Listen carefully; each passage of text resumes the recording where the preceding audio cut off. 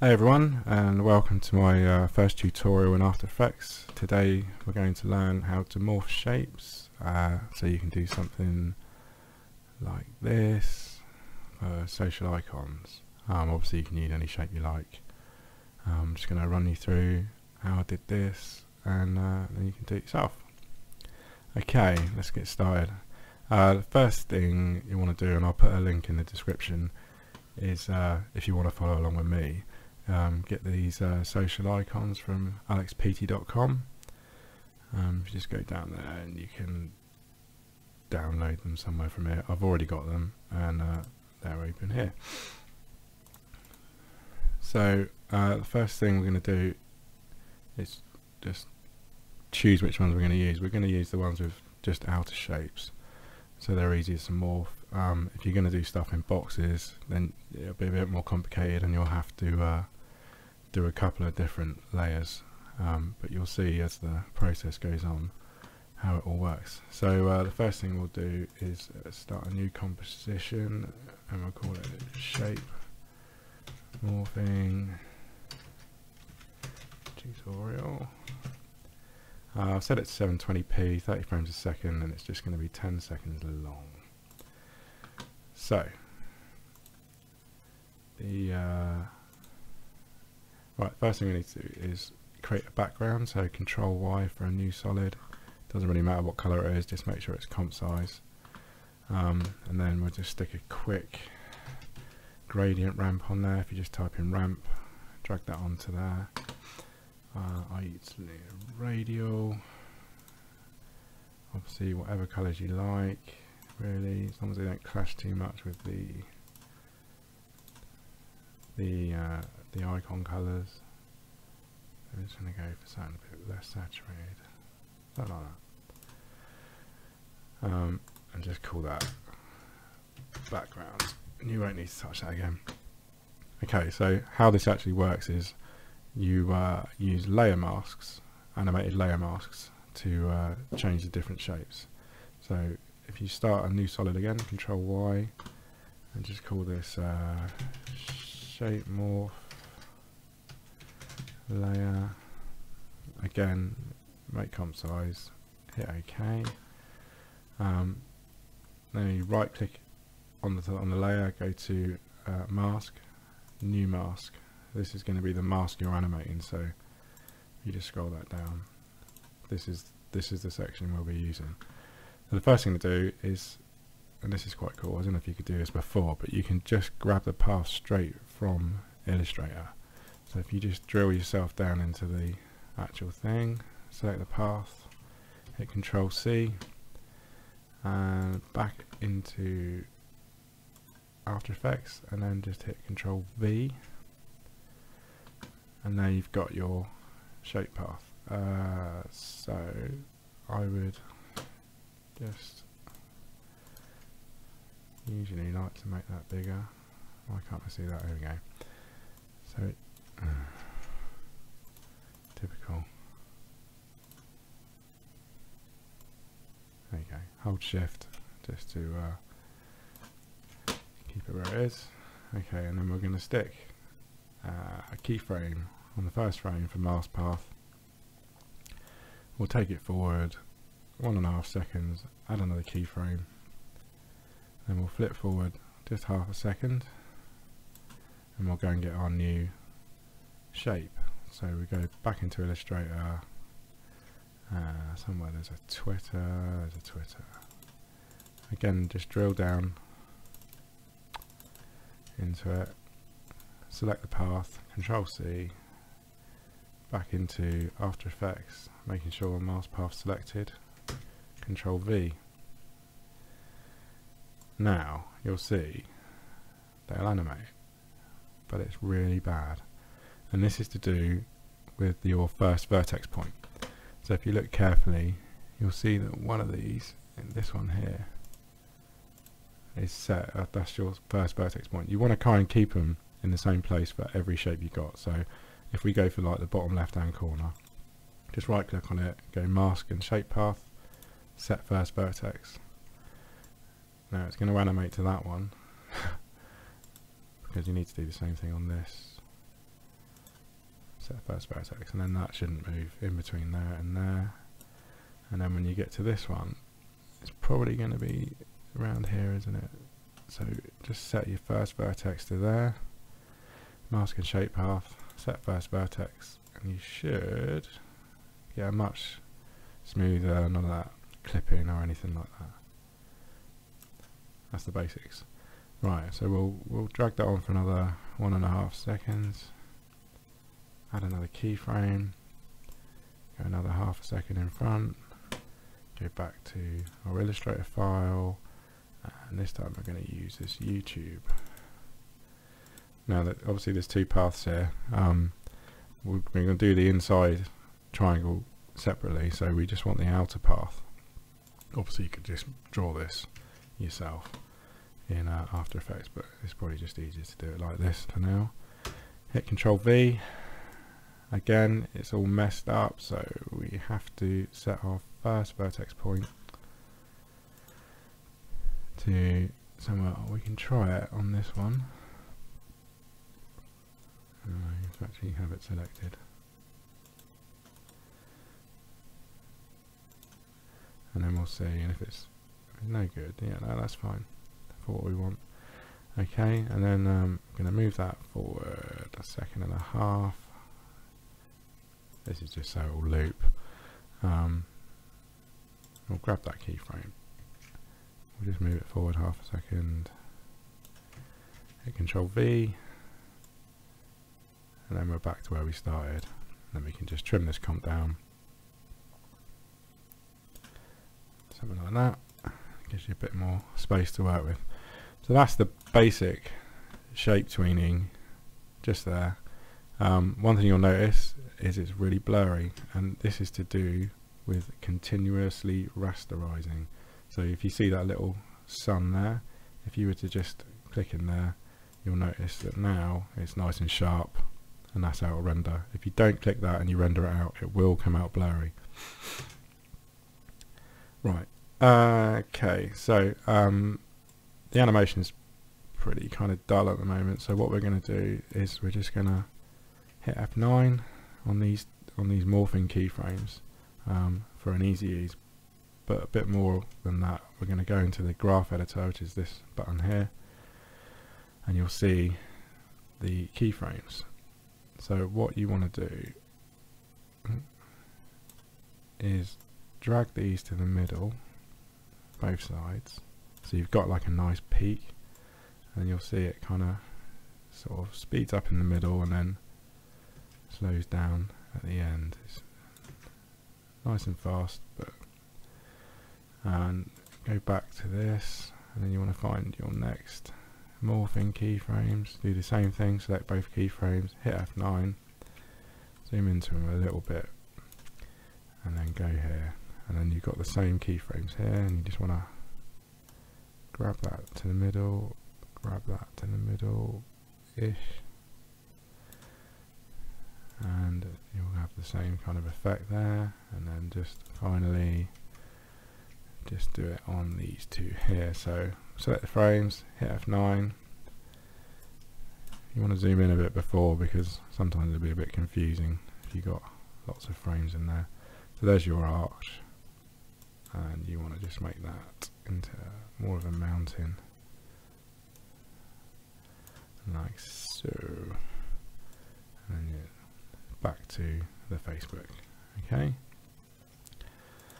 And you got that and if you play it back you'll see it's a bit smoother. Right uh, the next bit is to add the right colors so we're going to add a tint effect. This color correction tint. We're going to add that to this. Now I know I just know what the colors are but I've got them written down here so the Facebook is uh, 3B5998 I should have copied that?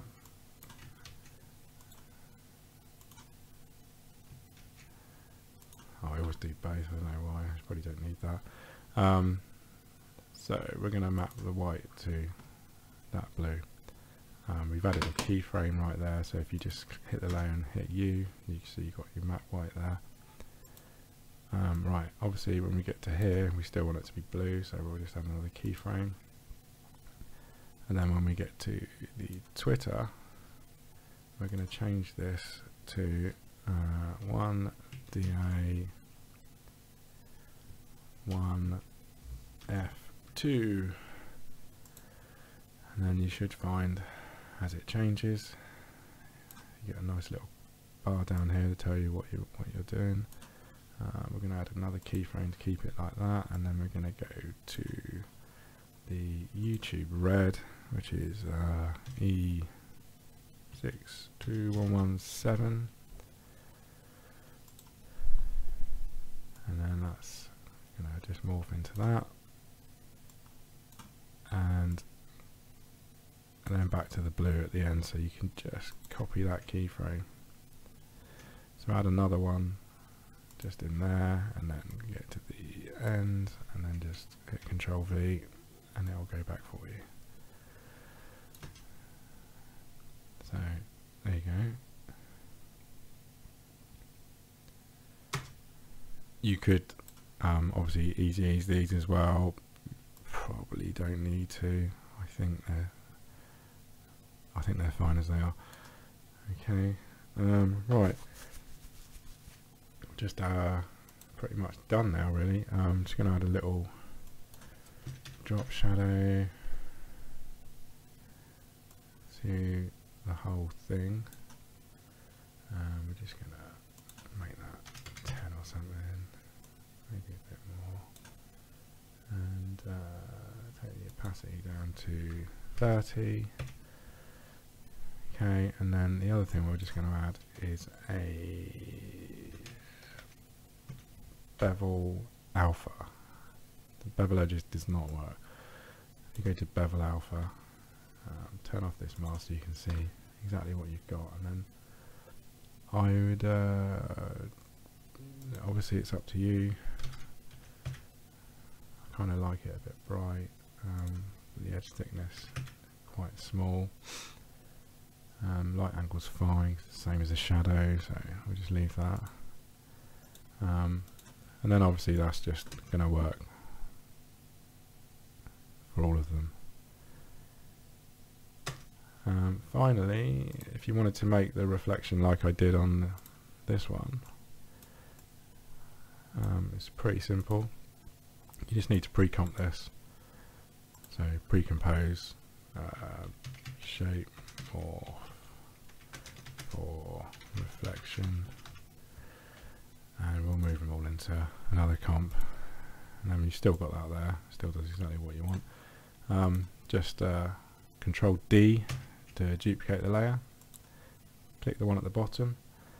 Uh, you want to go layer transform flip vertical and just zoom out a bit and then just move that down depending on how you want your shadow to be. Um, I've gone a little bit off on mine. What I'll actually do though is I think I'll just move the top one up. Okay. Um, you only want it to be 20% opacity. If that. And then you also want to add mask. So make sure the layer is selected. Just grab the rectangle tool. Big gap at the top small gap down the bottom um, and then you just want to go to your mask feather and just drag that in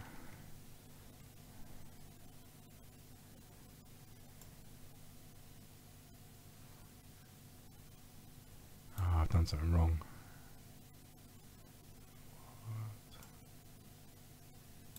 maybe there drag the expansion bring the feather in back a bit. There you go.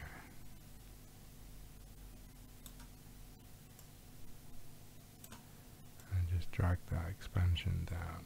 You just want it to be like that, quite subtle. And then if you play it, hmm.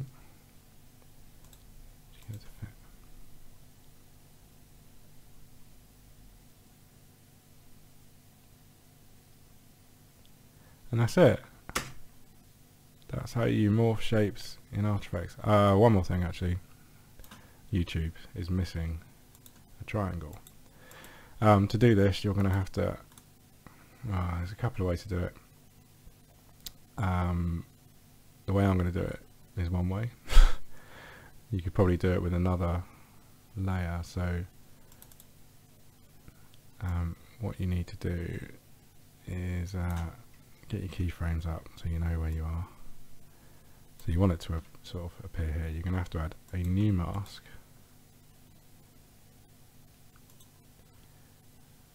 And then go down to the shape path. Go back to your Illustrator file. Select the uh, triangle control C. Back into After Effects control V. You want to change this to subtract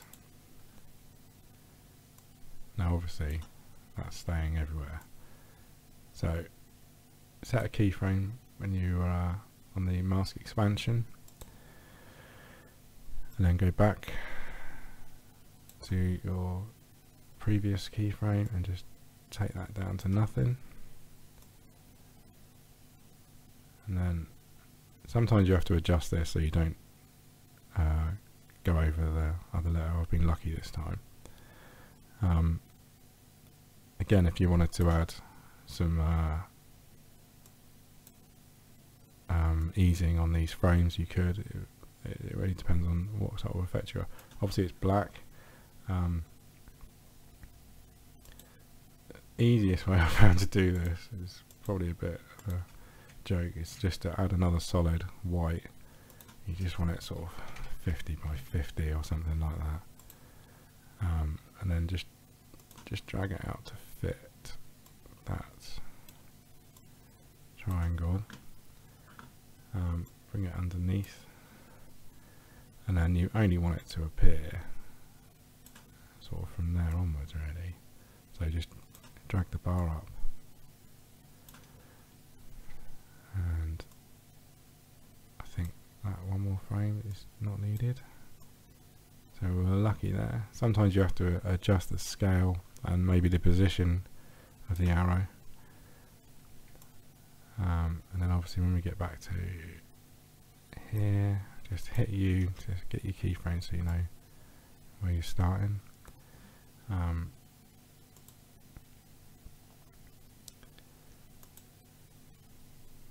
so I think we're just going to reduce the scale. So we'll hit a keyframe for the scale. As we get to here we'll just scale that down to zero. And then we'll also have to do the same for the uh, the second mask expansion. So we go back to here. Set a keyframe for the expansion, go to the end, and then just take that down. And then as we go through, so you know when you get to there, you can stop the white showing. So that should uh, look alright, you should get the there you go. And that's good timing because uh, my son's woken up. Right, uh, that's the end of this tutorial. Uh, thanks for watching. If you've got any questions or comments, then uh, please stick them below. Um, and if you've got any ideas for any further tutorials, then uh, let me know. Thanks for watching, guys. Cheers.